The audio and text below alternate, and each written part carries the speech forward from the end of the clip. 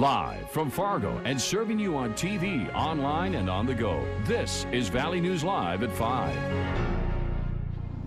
Many questions remain unanswered about what led to the shooting death of an Enderlin, North Dakota man. But we have new information from newly filed court documents. They say surveillance video captured the shooting. Good evening and thank you for joining us. Charges were officially filed in Ransom County Court against 28 year old Paul Miller. Miller faces two felony charges one count of murder for the death of Billie Holiday and reckless endangerment for discharging a firearm near a young child. Valley News Team's Ashley Bishop has the court documents and tells us what unfolded. Ashley? These court documents are brief. The information only fills about half the page, and it says the shooting happened about 2.30 a.m. on Sunday, when police arrived on scene, the victim, Billie Holiday, was already dead. The documents go on to say that there is surveillance video that shows 28-year-old Billie Holiday being shot down while dropping off his two-year-old relative. The toddler was just a short distance from Holiday when the shooting occurred. The bullets traveled into the building, and the court document also says there were two males in a vehicle which was parked a short distance away.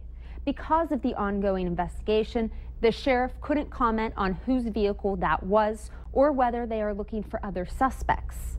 Court documents go on to say that the suspect, Paul Miller, admitted to multiple family members that he was responsible for the shooting of Holiday and wished to turn himself in.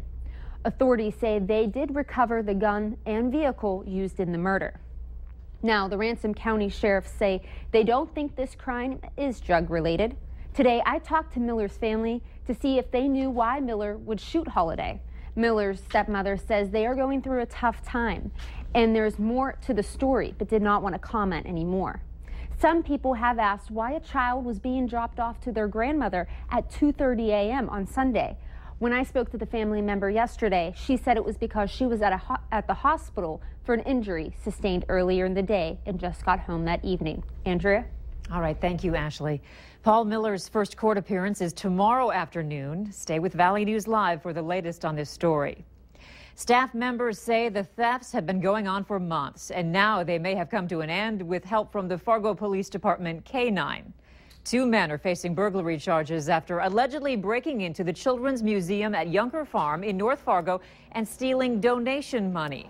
Staff members estimate several hundred dollars was taken, but the bigger problem is multiple windows are destroyed.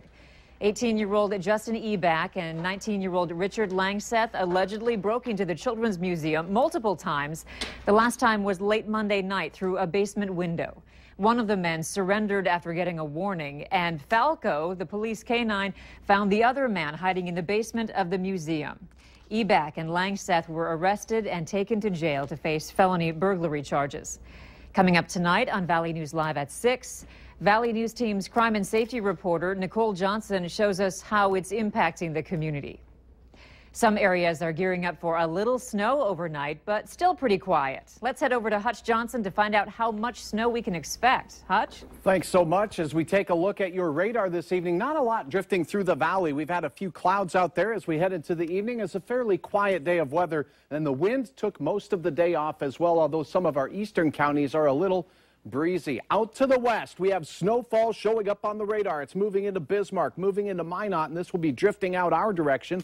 as we go through the overnight hours towards tomorrow morning, we could see some spots with isolated locations getting up to five inches. That's from Devil's Lake through Cooperstown and down in toward the Jamestown to Valley City area. Fargo, I think an inch or less here We'll keep our eyes on this, but for your planner this evening, it's going to be pretty quiet, albeit cloudy, and single-digit readings with a north wind at about 5 miles per hour. If you're up in Grand Forks, it's just a little cooler. We'll be below zero by the time it's midnight if you happen to be out and about uh, playing some pickup basketball or something like that. So. All right, thanks so much. A little chilly for that. Yeah, a little bit. Or hockey outside. Hockey, or, you know, now that's yeah. a little more seasonal. Yeah, yeah, thanks so much. You're welcome. Ice conditions have created a safety concern for an upcoming event in northern Minnesota. Cass County Sheriff Tom Burch says vehicles will not be allowed on Walker Bay on Leech Lake for the annual Eel Pout Festival. The event is scheduled for February 18th through the 21st. Sheriff Burch says there's a large volume of vehicle traffic expected, and that's creating a safety concern. Vehicle traffic will be restricted to snowmobiles and Class 1 and 2 ATVs. Currently, no other motorized vehicle traffic will be allowed during the event. The event director of the Eel Pout Festival says these restrictions could be lifted depending on the ice conditions and that they'll conduct an ice check on Friday. But the event director says people should plan ahead. Police have identified the owner of a dog that was killed after it attacked another dog and its owner at a Grand Forks dog park last month. However, police are not releasing that name yet because no charges have been filed in the case.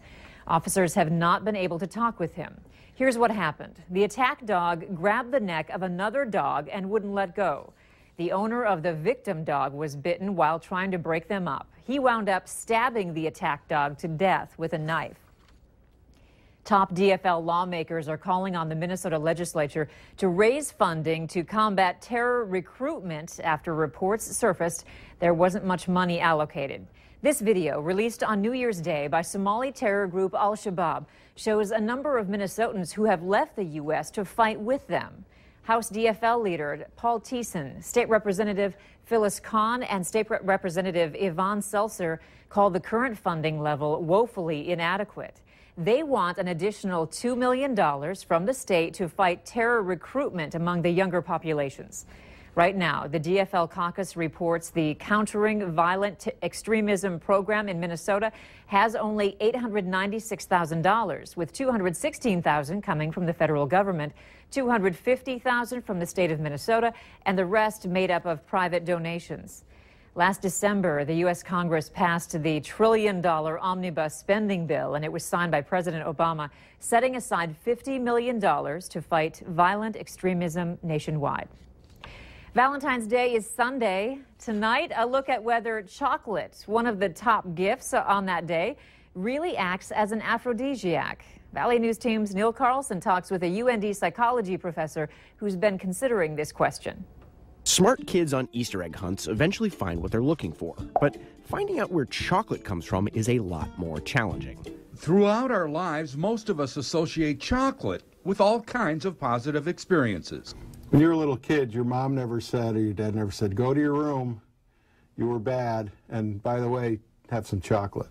You never, we never associate chocolate with bad things. I mean, birthdays, Christmas, Halloween. And of course, chocolate is a staple of Valentine's Day. But Ferraro says the bottom line is that chocolate's aphrodisiac properties, if any, are limited. Sexually speaking, there's no direct scientific link for sexual drive, but it can't hurt. I would say it can't hurt. As far as a direct link, there may be a direct link as far as associations go. Right. Chocolate, positive, you know, who knows? So apparently, the gift of chocolate on Valentine's Day can't hurt if you're betting on it working as an aphrodisiac. However, the experts say that science just doesn't have any clear evidence yet that it actually works. In Grand Forks, Neil Carlson, Valley News Live.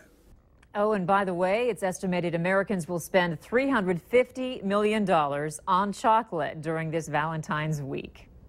Today marks the 100th anniversary of the New Hampshire primary, a state with an unusual election system that allows undeclared voters to cast ballots during the primary. About 44% of voters are independent, meaning presidential candidates can compete across party lines. Ben Carson hopes to capture last minute votes and narrow the field among Republican presidential candidates. I, th I think we'll be left with probably just uh, four or five people. Do you see yourself as one of those four or five people? I do, absolutely. New Hampshire has 1.33 million residents. More than 870,000 of them are registered to vote. It's an art form you often see in churches, but it's getting more and more popular in people's homes. Stained glass windows used to be standard in homes, but now it's a way to express your style. Studio Renaissance does everything from restoration for churches to custom made windows. They also offer classes taught right in the studio. A piece of stained glass, no matter the number of colors, can be a way to add something unique to a new or old home just another way of kind of giving that personal fingerprint on your own place you know like that identity to help separate yourself and from others so that you you know when you come over you know you have something new to show and something that's not just that can be bought at the store To get signed up for classes or to order a piece for your home, we have a link to the Studio Renaissance webpage on our webpage. Uh, click on the hot button at valleynewslive.com. An